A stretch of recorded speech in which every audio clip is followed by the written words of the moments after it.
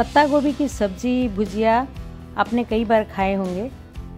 पर क्या आपने कभी पत्ता गोभी से बनी हुई पनीर की सब्ज़ी खाई है? अगर नहीं खाई ना तो ये रेसिपी आप ज़रूर पूरा देखिए। पूरी वीडियो को देखिए बिना स्किप किए हुए, क्योंकि इसमें पत्ते गोभी से पनीर बनाया है और पनीर का जो है सब्ज़ी बनाया है मैंने। तो इससे पहले, हेलो फ्रेंड्स, मैं संगीता, आप सबका स्वागत करती हूँ अपने चैनल पर। तो फ्रेंड्स, देर न करते हुए चलिए रेसिपी शुरू करते हैं। तो इसके लिए ना मैंने एक कढ़ाई में थोड़ा सा पानी लिया है और दो टमाटर बड़े आकार का और दो प्याज लिया है मैंने छील करके और एक सूखा लाल मिर्च और एक अदरक का टुकड़ा एक इंच और ये आधा हाफ़ में पत्ता गोभी ली हूँ काट करके और एक हरी मिर्च। इसमें मैंने एक दालचीनी का टुकड़ा डाला है। तो अब गैस ऑन कर देंगे मतलब चढ़ा देंगे गैस पर। और ये मैंने मटर भी लिया है। तो मटर पनीर जैसी बनती है सब्ज़ी बहुत ही ज़्यादा स्वादिष्ट लगती है। इसको ना हम उबाल लेंगे थोड़ी देर। पहले अभी मैंने ये ढक कर के तीन मिनट इसको उबलने दिया है इस तरह से। और इसके बाद ना इसको मैं इस तरह से पलट दूँगी ताकि आ, मतलब इधर इधर साइड भी अच्छे से ये सॉफ्ट हो जाए। तो बहुत ज़्यादा इसे कुक नहीं करना है मतलब सॉफ्ट करना है पत्ता गोभी को और टमाटर को भी इतना उबालेंगे कि ताकि इसका छिलका जो है अच्छे से उतर जाए। तो कम से कम इसे सात से आठ मिनट इस तरह से ढक करके हम इसे पहले पका लेंगे। और ये देखिए, हो गया है। ये सात मिनट के करीब उबलते हुए हो गया है पानी में। तो अब हम चेक कर लेंगे कि हमारा टमाटर जो है, इसका छिलका उतर रहा है कि नहीं, ये सॉफ्ट हो गया है कि नहीं। तो ये हो गया है लगभग सॉफ्ट तो ये मैं गैस बंद कर दे रही हूँ। और ये देखिए, इस छिलका इस तरह से आसानी से निकल जा रहा है। और हम क्या करेंगे कि इसे निकाल लेंगे, इस पत्ते गोभी को पहले। और थोड़ा देर के लिए रख देंगे, ताकि थोड़ा वो ठंडा हो जाए तब हम। और इधर ना मैं ये निकाल ले रही हूँ, ये सॉफ्ट हो गया है प्याज भी, और ये टमाटर भी। तो इन सबको निकाल करके और थोड़ा ये जब ठंडा हो जाए तो इन सबको हम पीस लेंगे, ग्राइंड कर लेंगे। ये निकाल के रख दे रही हूँ और साथ में ये अदरक और ये सूखी लाल मिर्च, सारे चीज़ों को, हरी मिर्च सभी को निकाल लेंगे। ये देखिए छिलका आसानी से उतर जा रहा है तो इस तरह से हम उतार करके इसको पीस लेंगे। और ये जो मटर है ना, इसे भी हम निकाल लेंगे। तो इस तरह तरीके से बनाएँगे ना फ्रेंड्स तो बहुत ही झटपट से बन जाता है ये सब्ज़ी। और बहुत ही ज़्यादा स्वादिष्ट लगता है। एकदम से पनीर को टक्कर देने वाला ये सब्ज़ी है नई रेसिपी है आप ज़रूर ट्राई कीजिएगा। और अपने दोस्तों में इस वीडियो को ज़रूर शेयर कीजिएगा दोस्तों ताकि इस नई रेसिपी का वो भी लाभ उठा सकें। तो ये ना पत्ता गोभी को अब काट लेंगे। और बीच का जो कड़ा वाला भाग है ना इसको हटा देंगे हम काट करके इसको नहीं आ, मतलब डालेंगे इसमें। तो इसको ना अभी मतलब रफली चॉप करेंगे मतलब बड़ा बड़ा ही टुकड़ा में काट लेंगे, क्योंकि इसके, इसे अब हम ना पीसना है ग्राइंडर जार में। और जो भी इसका सख्त भाग है, ये ऊपर वाला, ये देखिए डंटी जिसकी तो इसे भी हम हटा लेंगे। और इन सबको ना इस तरह से काट लेंगे। अभी थोड़ा गर्म है तो हल्का थोड़ा ठंडा हो जाए तब पीसेंगे हम इसे। और ये देखिए इस तरह से ग्राइंडर में डाल दिया मैंने। अब इसमें हम पानी नहीं डालेंगे दोस्तों, थोड़ा सा दूध डालेंगे। और ये दूध पे थोड़ी जमी हुई मलाई है और दूध मैंने दो से तीन चम्मच डाला है। तो इसी से पीसेंगे हम इसे। इसमें पानी का यूज़ नहीं करेंगे। तो ये देखिए, मैंने पीस लिया इसे। ये मतलब एकदम पतला, चिकना सा फाइन एकदम इसका पेस्ट जैसा बना लेना है। तो इन सबको अब निकाल लेंगे एक बाउल में।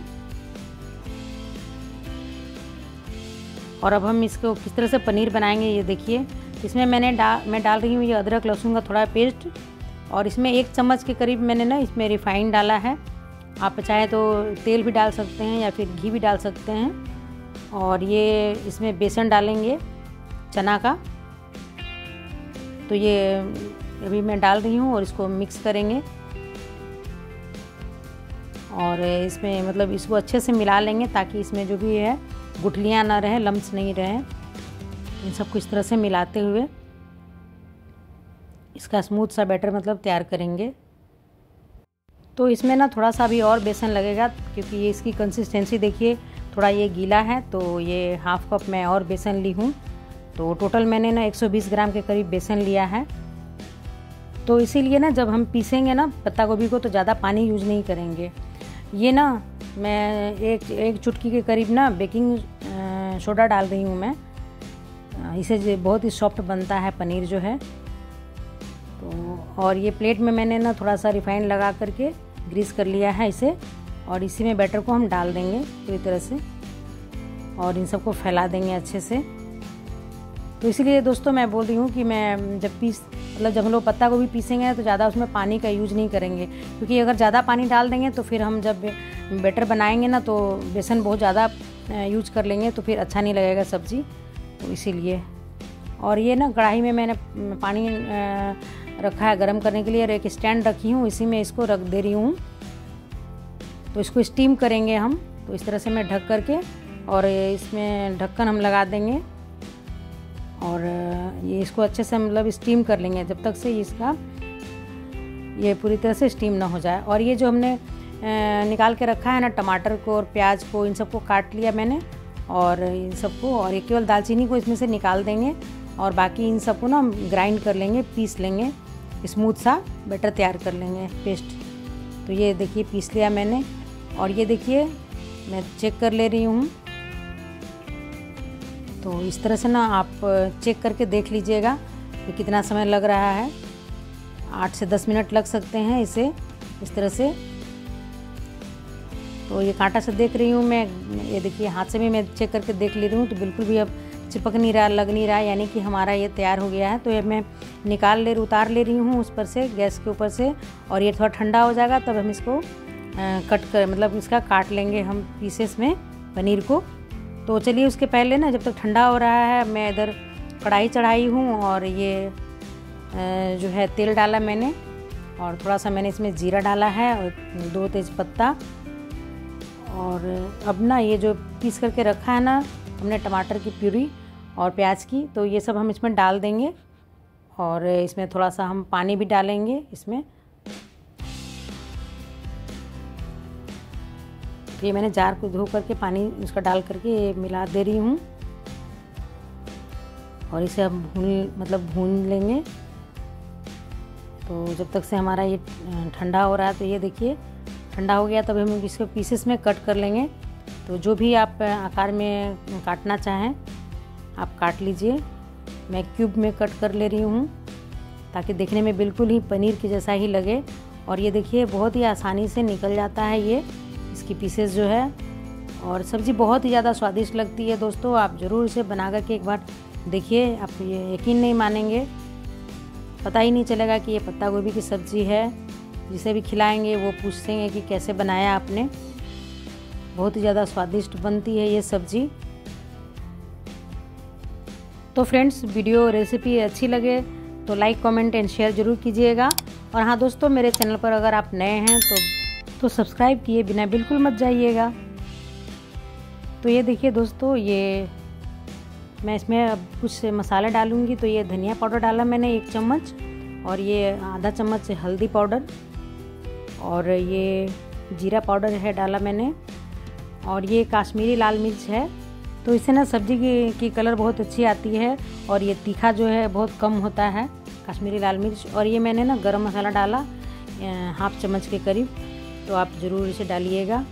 और ये अदरक लहसुन का पेस्ट है वैसे भी हम इसमें डालेंगे जिससे कि सब्ज़ी बहुत ही स्वादिष्ट बनेगी। और ये नमक टेस्ट के अकॉर्डिंग और इन सबको हम डाल करके भून लेंगे। और ये जो मटर भी उबाल के रखा था हमने ना, इसे भी मैं डाल रही हूँ और इन सबको भी डाल करके इस तरह से मसाले में भून लेंगे अच्छे से।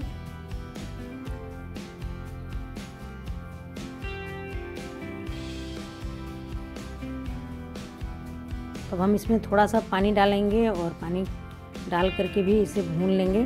तो तब तक भूनेंगे, जब तक से इसमें तेल जो है अलग ना होने लगे। और ये ना घर की फ्रेश जो है मलाई, दूध मतलब दूध और थोड़ा सा इसमें मलाई है, छाली जो इसको हम लोग बोलते हैं, वो डाला मैंने। तो ना इसे सब्ज़ी ना और भी ज़्यादा स्वादिष्ट लगती है तो आप ज़रूर से मलाई डालिएगा। तो और ये जो पनीर हमने काट के रखा हुआ है ना, इससे भी हम डाल देंगे इसमें।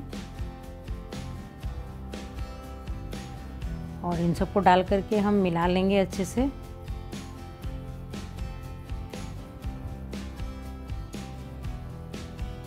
तो ये सब्ज़ी ने बहुत ही ज़्यादा स्वादिष्ट लगती है दोस्तों, आप ज़रूर एक बार बना करके देखिए। तो ये हो गया है, भुन गया है तो इसमें हम पानी डाल देंगे थोड़ा सा और इन सबको ना इस तरह से मिलाते हुए। ये देखिए, लग रहा है ना बिल्कुल भी पनीर की सब्ज़ी देखने में। थोड़ा सा इसमें इसका टेस्ट को और इन्हेंस करने के लिए हम इसमें तो मैंने थोड़ा सा ये कसूरी मेथी डाला है। तो जिससे कि टेस्ट और भी ज़्यादा इसका मतलब बहुत ज़्यादा बढ़ जाता है।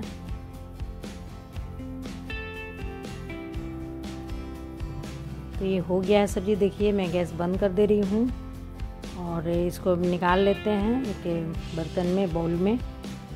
तो फ्रेंड्स, ये सब्ज़ी आप ज़रूर एक बार ट्राई कीजिएगा, बनाइएगा और बनाने के बाद ना कमेंट सेक्शन में ज़रूर कमेंट कीजिएगा कि सब्ज़ी आपने बनाई तो कैसी बनी तो इस नए रेसिपी को आप ज़रूर ट्राई कीजिएगा दोस्तों। पत्ते गोभी से पनीर की सब्ज़ी बहुत ही ज़्यादा स्वादिष्ट बनती है। मुझे उम्मीद है कि आप बनाएँगे तो आपकी भी सब्ज़ी इस तरह से स्वादिष्ट बनेगी। तो फ्रेंड्स जाने से पहले मुझे सपोर्ट करने के लिए सब्सक्राइब ज़रूर कीजिएगा।